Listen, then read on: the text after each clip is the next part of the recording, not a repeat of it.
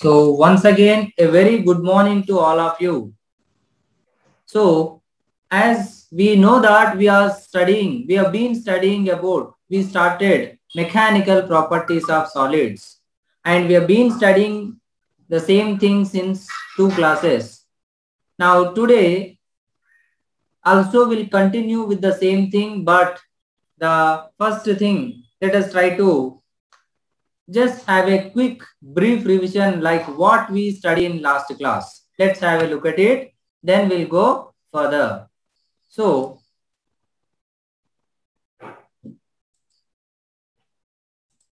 first, what we studied in the last class is what is the importance of mechanical properties of solids. That is the first thing we have studied. Like major application, what we said is, it is like the application of mechanical properties of solids in civil engineering, like in constructions and in weight lifting with the help of cranes and all. So main majorly we took it as civil engineering applications. That is the one major important role of mechanical properties of solids in our society, in our general life. And next thing, what is meant by nature of elasticity and plasticity? So, what was the meaning of elasticity and plasticity we have studied? Elasticity and plasticity both are properties or nature of a substance, solid substance. What does that mean? When you apply an external force, which can change the configuration, which we call it as deforming force. So when you apply deforming force on the solid body, if it is able to regain its original shape, original configuration, after removal of deforming force, then we call it as elasticity, that property. Regaining of original shape or configuration. We call it as elasticity. Inability to regain its original configuration even after removal of deforming force. We call it as plasticity. And the substances which shows elasticity, those are called elastic bodies. And those which, which shows plasticity, those we call it as plastic bodies. Right? So that is the nature of a solid substance which we call it as elasticity and plasticity about which actually we study in this chapter. And what is the reason, next thing, what is the reason behind elastic nature? Then we took a diagram also like between the solid atoms, means between the atoms of a solid body, there are some interaction forces. And when you try to compress, stretch, then they behave like a spring. Just like when you compress, then restoring force develops just like in spring. And they try to regain its original configuration. So you compress, then the shape changes slightly. Then they try to come back their original shape by developing restoring force inside it. So that is the nature, that is the reason behind the elastic nature. And what is stress and strain? What is stress and strain? So when you keep on applying, so when you apply the external force called deforming force on a solid substance, then what happens? A stress develops, which is nothing but force by area and which causes change in the configuration or change in the dimension that is called strain. Change in configuration by initial configuration. So the ratio of change in configuration to the initial configuration, we call it as strain. Now, also we have studied what is the difference between stress and pressure. So the difference between stress and pressure so what is the difference? Both are same. Both are force by area. But force always, sorry, stress always acts, sorry, pressure always acts perpendicular to the surface or normal to the surface always like this, perpendicular to the surface, whatever may be the surface. Every point, the pressure will act perpendicular to the surface. Usually we consider in case of liquids. But stress means that can be perpendicular, that can be parallel to the surface. So that's why we call them as like stress and pressure separately, even though the definition is same like force by area. And after that, we have just took the introduction like what are the types of strain and simple numerical and stress and strain like force by area and based on the strain like what is the change in configuration like that. So these are the simple things we have studied and two, three simple numericals we have solved. Now today, the very first thing what we are going to study is types of stress. So till now, I have just gave the brief idea, a reminder kind of thing like what we have studied in the last class. What we have studied in the last class. So now, today's first thing, as I said, types of stress. What is the first thing? Types of stress. So types of stress, the very first thing is longitudinal stress. There are majorly three types of stress in our syllabus. And the very first one is longitudinal stress. Longitudinal stress means here in the diagram you can see, see here, there is a rod and you are applying force in this direction here. As you are applying force, the force is perpendicular to this area. See, this is the circular area of the rod and you are applying the force perpendicular to its surface. So when there is a surface area, look at my hand. And the direction is like this, perpendicular force direction. Then the stress developed, we call it as then the stress developed we call it as longitudinal stress but every stress is what? Stress nothing but force by area only. Formula is same. Same formula for all the types of stress. Even though we are telling three types of stress in every case in each case the pressure sorry the stress is force by area only. But here longitudinal stress means the force which is acting perpendicular to the surface. Just like one simple example, you just try to take one thing that, here there is a fixed support and one rod is attached or one rope, thick rope is attached. Now you apply force here. You try to hang from that. I mean, you try to pull that. Then the force will act perpendicular to the, then the force will act then the force will act perpendicular to the circular area of the circular area of the rope or rod. So that is f. So that f by area this area we call it as where usually they will tell wire or rod thin wire or rod. But you consider wire or rod what kind of shape it is? Cylindrical shape usually. So it is rare that in the numerical they will give that the rod is like this shape, rectangular cuboid shape. They will not give like this usually. They will not give this square shape. They will give most of the time circular shape only. Rod means like cylindrical shape.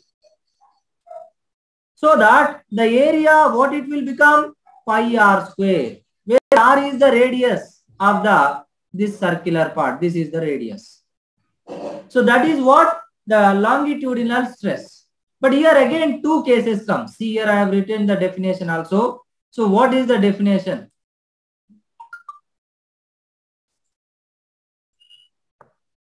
So the definition is when a stress is when the stress is normal to the surface of the object. Normal to the surface of the object means longitudinal stress. But here two cases will come I am telling that is one is the first one is tensile stress. Tensile stress. Tensile stress. So tensile means what? Another one is compressive stress. What is the difference? Both are longitudinal stress only. But the difference is, let's take a wire hanging from a fixed support and you are pulling it with a force F. Then it is the case it will become like according to Newton third law. According to Newton third law, you are pulling it with force F downward. Then equal and opposite force will develop in which direction? Opposite direction. So that for the wire, here one force will pull it up, here one force will pull it down. Then the wire will stretch. Look at my hands. Then the wire is stretching. Then length what happens? Increases. Length what happens? It tries to increase. And the stress developed is perpendicular to surface area. And it is trying to increase the length of the object. And that's why it is called tensile stress. If the stress produced in the object is due to shear, increase in its length. What is it? Increase in its length. Then it is called tensile stress. See, you applied some force. So there is a change in the length delta L. You are applying deforming force so that initial length, final length, there is an increase in the length and the corresponding stress, what we call it as tensile stress. That is what the first sub part of longitudinal stress. Similarly, when you consider compressive stress, now what you do is see, again look at my hand, suppose this is the rod. Now you keep it on the surface and from the top surface you try to press it. Now you don't try to pull it. You try to push it downwards. So you are trying to press the body. Then what happens? Then the length decreases. So the length is decreasing. That's why it is called compressive. You are trying to compress the body. That's why it is called compressive stress. But here also, you are trying to apply the force perpendicular to the surface. Surface is like this. And you are trying to apply force in this manner. Hope everybody is able to look at my hands. Please try to observe my hands so that the stress, what we define it as, it is again longitudinal stress only. But as there are two types of longitudinal stress, we call them as compressive stress. So that is what the difference between tensile stress and compressive stress. Now,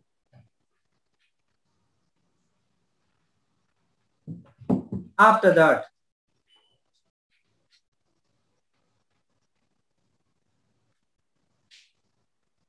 okay. So there is a longitudinal stress which may be tensile stress or compressive stress. But one common thing is what is changing here? Length. Length may increase, length may decrease. So that here there is a change in length. There is a change in length always, delta L. So there is a change in length. That's why see here. Delta L may be plus or minus, but change in length. Mm-hmm. And there is an initial length also.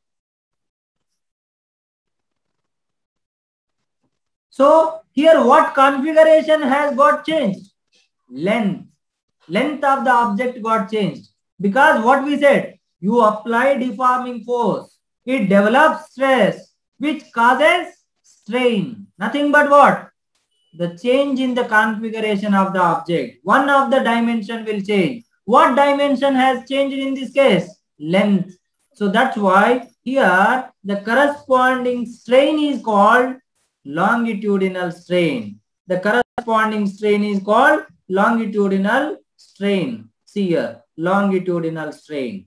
And that is the ratio of change in length by original length. Change in length by original length. That is the longitudinal strain. So there is a longitudinal stress means there must be one corresponding longitudinal strain also. Now the next thing. So after longitudinal stress, the next stress what will be there in our syllabus is volume stress. What is this? Volume stress. Now volume stress means the name itself is saying You can also define it as hydraulic stress, also bulk stress in our syllabus. What we can call it as bulk stress or hydraulic stress. Also we can define. Why we define, we'll see first. So here, if you look at the cubical shape, when you try to apply force from all the directions, from all the directions equally perpendicular to the surface, then what is happening? The volume is decreasing. But here the problem is, suppose you take a ball. You all know smiley ball. So take the smiley ball and press it. Then shape changes. That is volume stress only. You are applying some force per unit area. So that that is called volume stress. Very good. But the change in shape is irregular.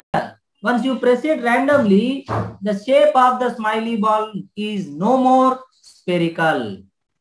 But we need, we need, the change should be such that the shape should not change, only configuration changes, dimension changes. Then only we can calculate. That's why we take a specific case. What is that specific case is you take a solid ball, spherical ball. You take a solid spherical ball and keep it inside the, keep it inside the, see as in the diagram it is showing like this. You kept it inside the liquid where liquid will apply pressure. So the pressure is nothing but force by area. So that only here we call it as what? Stress. And that will act at every point on the surface perpendicular as shown. So that from all the directions equal force, so that equal change in volume. So that's why in the diagram it is representing, see here. The inner dotted one is there, right? So that is the final volume. And the outer one is initial volume. So there is a decrease in volume always. So in our syllabus, volume stress means always causes decrease in volume, not increase in volume. Why I am specifying this? Because in the last topic, longitudinal stress means length may increase, length may decrease. But here also volume may increase, volume may decrease. But in our case, what is possible in practicality? Volume always decreases.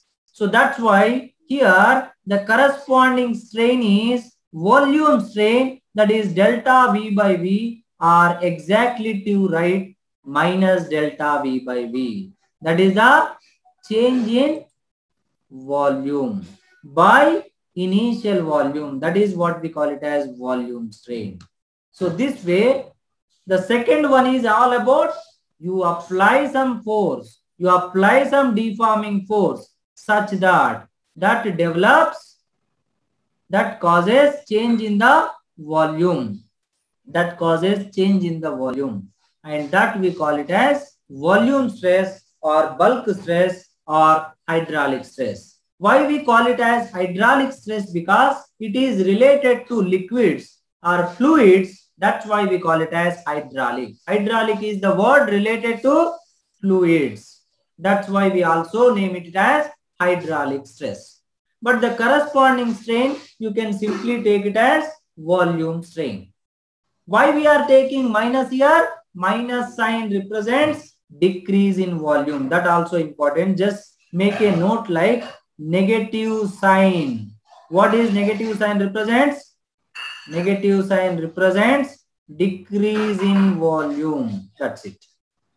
So now the third one that is tangential or shear stress. What is that? Tangential or shear stress. So first one longitudinal stress causes change in length Second one, volume stress causes change in volume. And this one, tangential or shear stress. Shear or tangential. This means you have to apply force parallel to the surface, along the surface. Please look at my hands. So the force should act parallel to the surface. So that what happens is the bottom of the surface is fixed and you are applying force on the top surface and try to push it. Then there is a slight displacement. Now let us take like this. Now this is the bottom. See here. This is the bottom fixed. Now I am applying force parallel. So it is slightly displacing. It is not changing its shape. It is slightly displacing. So that case we call it as tangential or shear stress. Here. Here in the diagram, it is clearly showing the top surface when you look at.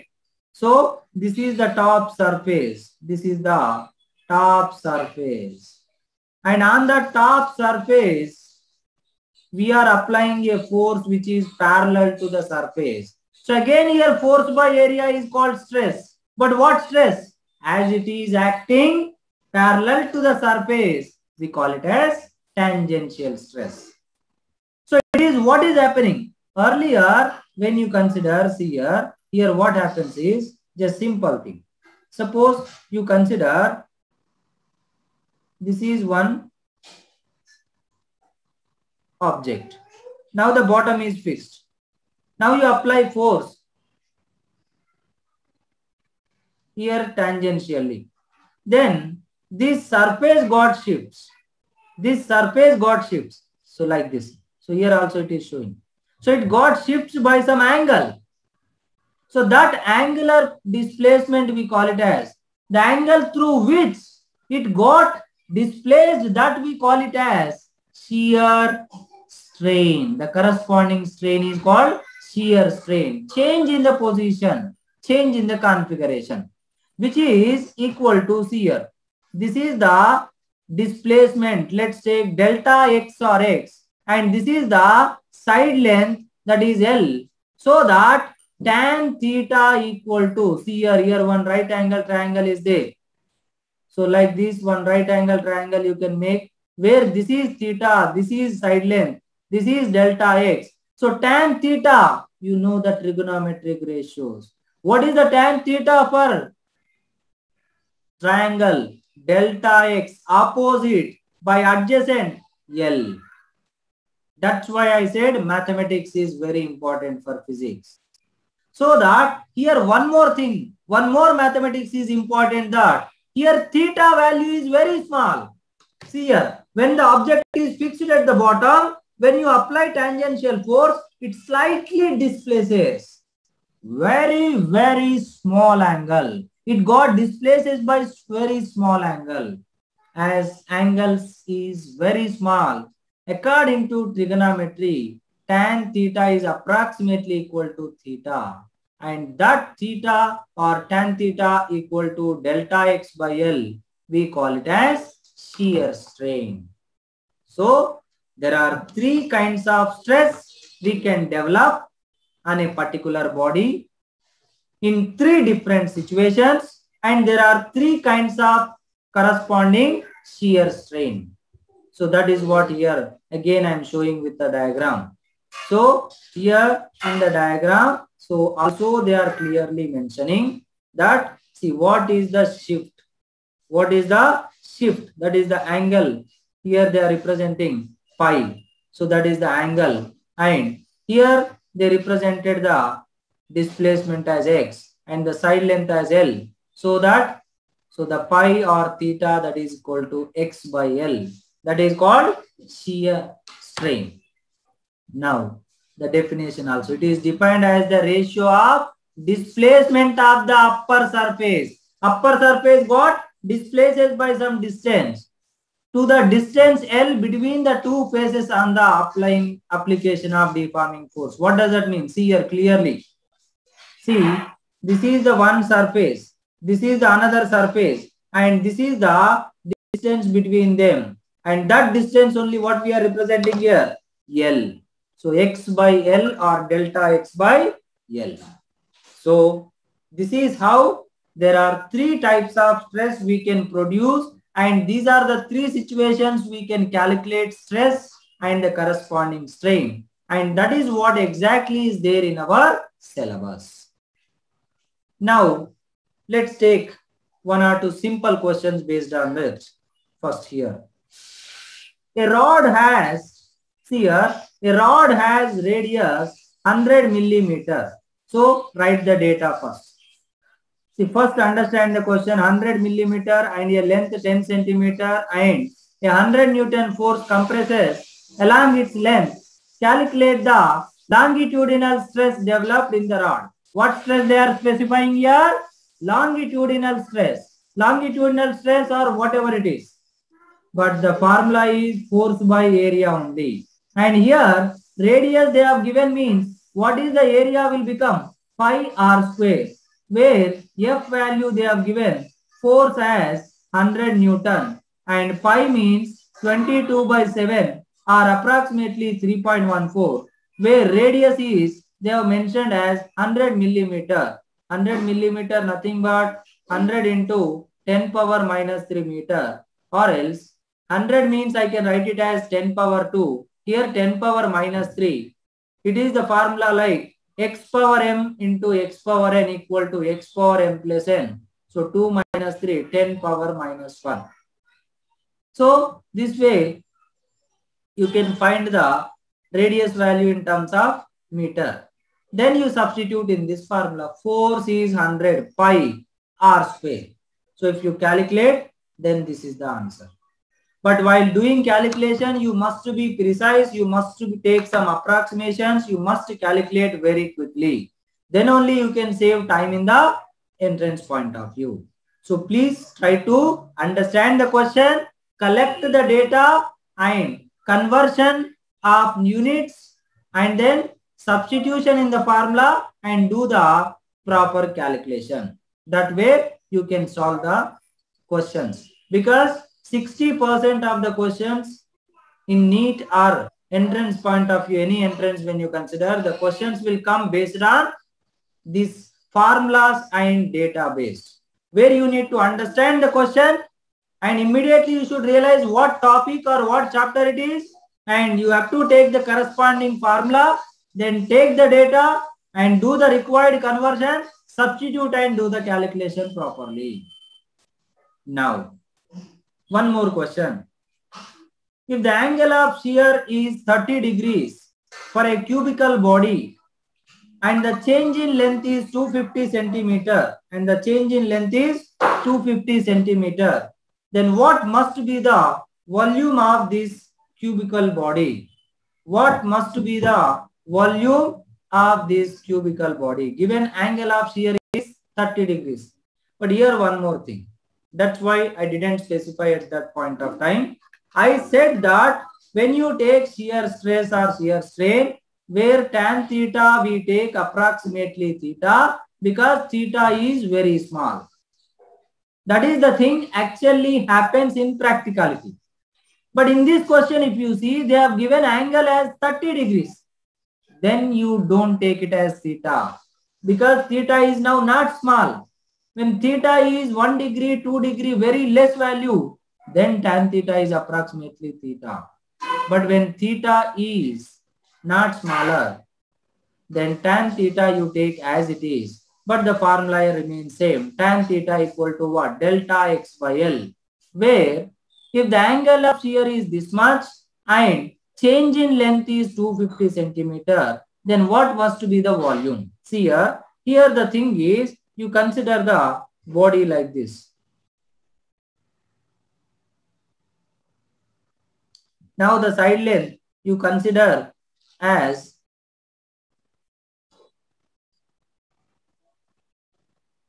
L and it got shifted by distance delta x. So this delta x they have given as 250 centimeter. Then tan theta equal to delta x by L means theta given delta x given then you can find L.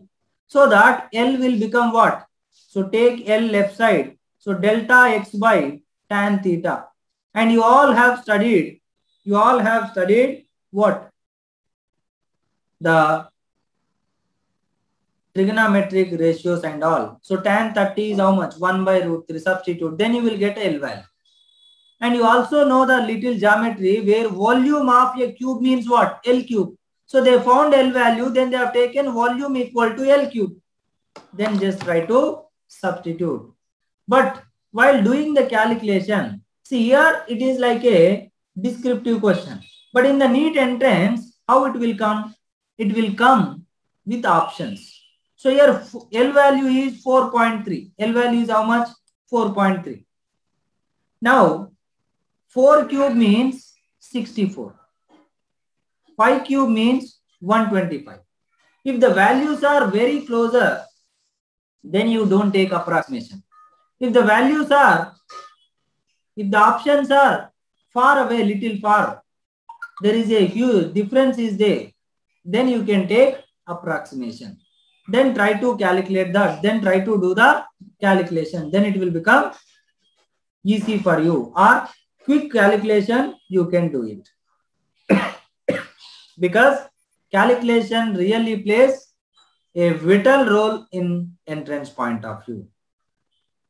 Now, so till now we studied what are the three types of stress, what is the formula and what is the corresponding strain, three different type of strain. So longitudinal stress, longitudinal strain, volume stress, volume strain and shear stress and shear strain. So the final conclusion is you apply deforming force, there is a stress, there is a corresponding strain. So force develops stress and stress causes strain.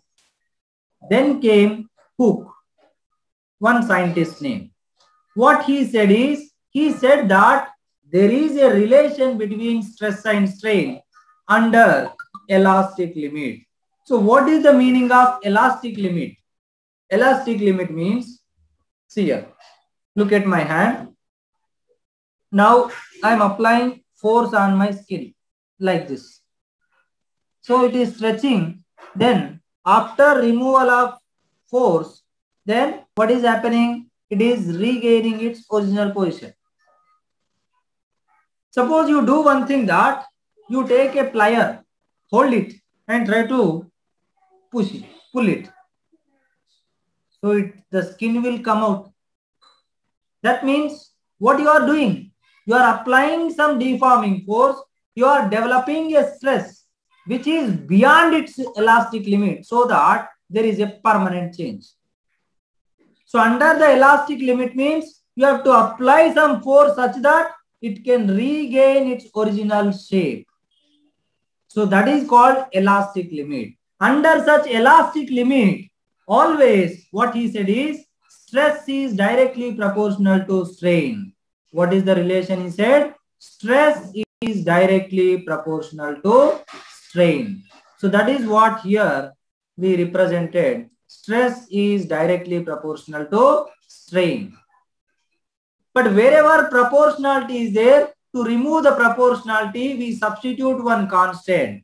So here also the proportionality constant will come. What that is we represent with capital E, which is called modulus of elasticity. What we call it as modulus of elasticity. Modulus of elasticity means a factor on which the stress and strain depends or which is depends on nature of the substance. So E is called elasticity, elastic coefficient or modulus of elasticity, where if you take the formula, bring the strain this side, then it will become what is the formula? E equal to stress by strain, where stress means force by area. So force by area means Newton per meter square, but strain is dimensionless. That's why the dimension of E or the unit of E same as stress. So unit of E, units of E same as stress. Why? Because the strain is having no dimensions or no units. So that is what strain. So the SI unit of modulus of elasticity, that's why what they mentioned here. A unit is nothing but equal to stress, Newton per meter square. But I told you already in the last class, dimensional formula you will study. Where kg we represent with m, meter we represent with L and second we represent with T. So that is what ml minus 1 t power minus 2. But after studying Newton's, sorry, units and dimensions, you will understand clearly. Now just remember the dimensional representation. In every chapter, whatever new quantity comes, for everything you need to know the unit and its dimensional representation. So that we will study, that you will study later. So here if you see the Hooke's law, the Hooke's law says when you apply force, then there is a extension in the spring just like this. So that force is proportional to extension. Same way here also. The stress is proportional to strain. That is what Hooke's law. So force or stress always directly proportional to what? The strain or change in configuration. That is what Hooke's law. So here, if you take the graph between stress and strain, if you take a graph between stress and strain, where stress you take it on y-axis, strain you take it on x-axis, that means y proportional to x form. If you have y proportional to x, that will become y equal to mx form, where m is slope of the graph. What is the slope of the graph? If the graph is making some angle theta with the x-axis, if the graph is making angle theta with the x-axis, then tan theta is called slope of the graph. What it is? Slope of the graph. So, slope of the graph. So here or for any graph, slope of the graph means how to find it. How to find the slope of the graph.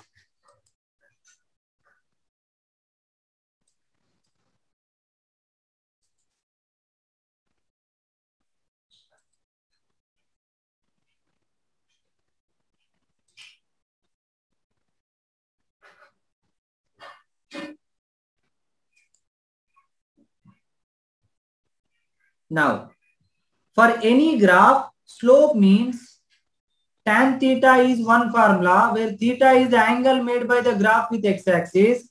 Another formula is, remember very important one.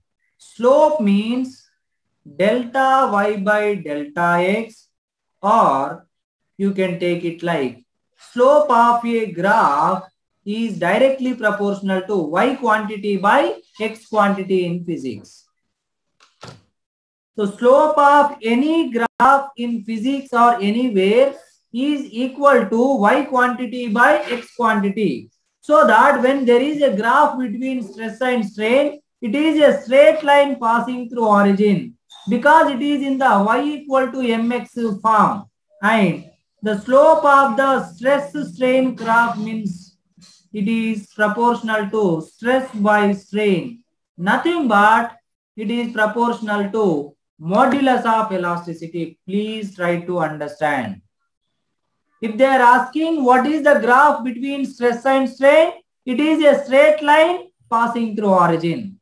If they give stress versus strain graph, then the slope will become y quantity by x quantity or tan theta, where theta is angle made by the graph with x-axis. So that the conclusion is slope of stress versus strain graph is equal to modulus of elasticity and that always remains constant. Why? Because it is a straight line. So straight line graph means slope is constant everywhere. Same slope at every point. See here. You take this graph, suppose in the figure showing you take this point, angle is theta. This point, angle is theta. So at every point, the slope remains same for a straight line. So the final conclusion is slope of stress versus strain graph is proportional to stress by strain that is proportional to modulus of elasticity. So more slope means more elasticity. Sometimes they may give the graph between strain versus strain just to confuse. Suppose they have given strain on y-axis and stress on x-axis. Then it will become strain by stress. That means that will become proportional to 1 by E. That difference also you should be able to find it. Now, here, let's see. There are three, diff uh, four different materials, steel, plastic, rubber, and some biological tissues. If you compare whose slope is more, the steel slope is more. The steel slope is more compared to plastic, compared to rubber. That means slope is more means what? More stress it can bear. That's why it is more elastic body. When you compare two substances who has more slope, that is more elastic. That means that can bear more stress. It cannot break that easily. That is what the from the graph you can understand. So here also graph is between stress versus strain. You can represent stress with a symbol sigma and strain with a symbol epsilon. This is epsilon. This is sigma. The symbol for stress and strain. So here I have given a general comparison between few materials. You might be thinking like rubber is more elastic. No, easily it can stretchable. But that doesn't mean that it is more elastic. It cannot bear maximum force. If you apply some little force only, then only it will break. But steel means you can stretch it to longer. That's why it is called, it can bear more stress for a small change in strain. That's why it is called more elastic. And when you consider modulus of elasticity depends on type of material. What type of material? Like just before I said, steel is one type of material. Iron is another type of material. Brass is another type of material. Rubber is another type of material. It does not depend upon the value of stress and strain. As stress increases, strain increases. But ratio of stress by strain, that is nothing but modulus of elasticity of a material that remains constant. That is what the modulus of elasticity, that is what the Hooke's law says.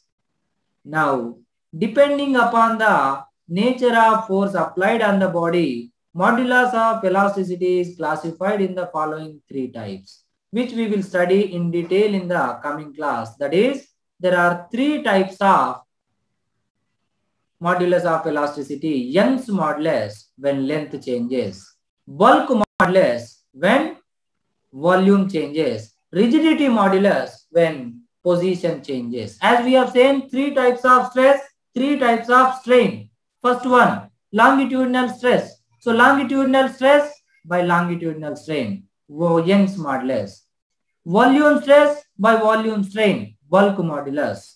And the shear stress by shear strain, that is called rigidity modulus. So these three things we will study in detail in the coming class. Now, who is more elastic, rubber or steel? See here. The greater the resistance to change the to change, the greater is the elasticity of the material and the fast it comes back to its original shape or configuration after the deforming force is removed. See here, here the thing is you take a rubber, eraser, whatever you use you daily. You try to bend it. It will bend easily, but it will come back slowly. So such kind of material is called less elastic. Easy stretchable doesn't mean that more elastic. But when you consider steel, it is very hard to stretch it and it will come back to its original position quickly. That's why it is more elastic. It has greater resistance to change. Greater resistance to change. It should oppose the change and greater elasticity than it is called. That's why who is more elastic? Steel is more elastic than rubber. So that's why here steel is more elastic than rubber because steel comes back to its original shape faster than rubber when the deforming forces are removed. Steel can resist greater force and it can come back quickly. That's why it is called more elastic under the limit, under the limit, under the elastic limit. We are talking only about under the elastic limit. Now, so if you look at overall what we have studied, just let's have a look at what we have studied till now. First one, types of stress. Longitudinal stress, where force acts perpendicular to the surface area, which is again two types. Tensile stress when length increases, compressive stress when length decreases, and longitudinal strain corresponding strain that is delta L by L. And the second one is volume stress, where volume changes. But in here, in our syllabus, volume decreases. So that is also called hydraulic stress or bulk stress. And the corresponding strain is bulk strain or volume strain. And here, negative sign represents there is a decrease in volume of the body. And third one, tangential or shear stress, where force is applied parallel to the surface so that there is a shift in the position. And that shift in the position, that angle is called shear strain and the corresponding strain, that is shear strain. And in this case, we will consider the angle is very small. That's why tan theta approximately equal to theta. And we have seen two simple questions based on stress and strain. And the next thing what we studied is Hooke's law, where Hooke's law says that the stress is directly proportional to strain.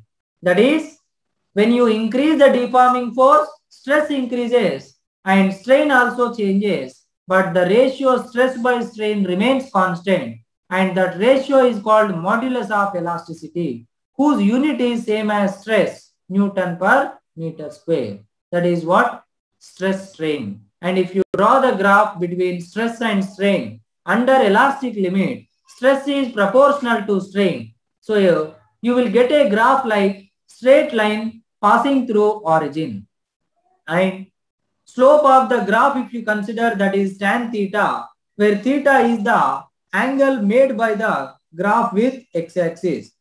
Or else the slope is equal to stress by strain if it is stress versus strain graph. Or strain by strain if strain is on y-axis and stress is on x-axis. And comparatively more slope means more elasticity more elastic body and when you compare the different materials steel is more elastic and that modulus of elasticity mainly depends on the nature of the material. Also other factors will be there. Those other factors we will study in the coming class. And what are all the types of Young's, uh, sorry, modulus of elasticity is there. That also we study in next class. And here we concluded finally, the steel is more elastic than rubber because it is more resistive and it can come back to its original shape quickly. So finally, the conclusion, what we are going to study in next class. So the stress strain curve for any solid body and types of materials and types of modulus of elasticity, as I said, Young's modulus, bulk modulus and rigidity modulus and the effect of different factors on them and few numericals based on those things. So this is what we will study in the coming class. If you wish, you can prepare and come back so that you can understand very easily, right? So this is what today's class will meet in the next class. Thank you.